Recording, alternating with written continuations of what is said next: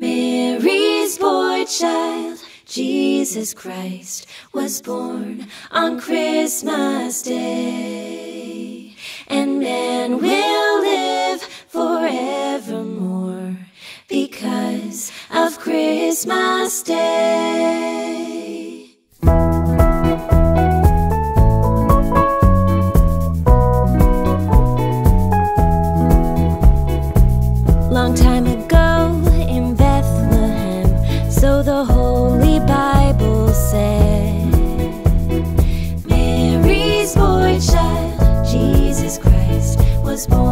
on Christmas Day.